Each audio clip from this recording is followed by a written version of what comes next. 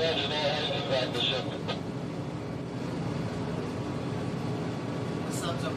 have one beacon for the cage. I don't have any uh, beacon uh, connections.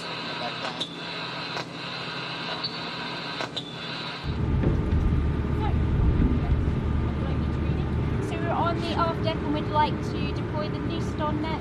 This will be the first time that anyone has done this from the surface to 500 metres in the whole of the Indian Ocean. And it's important threefold. Um, we need to get baseline data to understand how communities, environments, and organisms change over time. Um, it will also be used directly in Seychelles to use for spatial planning. So, this is going to enable the waters to be sustainably managed.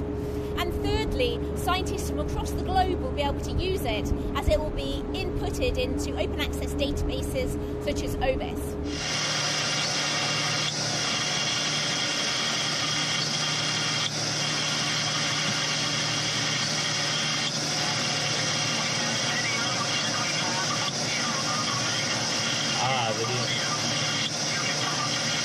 Gini